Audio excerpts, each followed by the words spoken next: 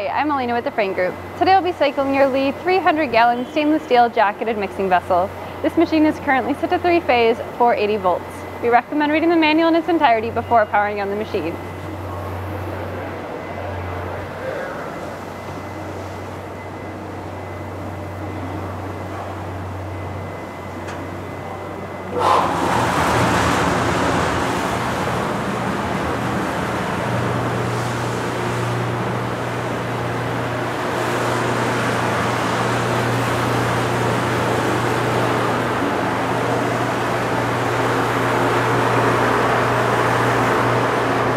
Pressure tested the jacket and it is currently holding at 120 psi.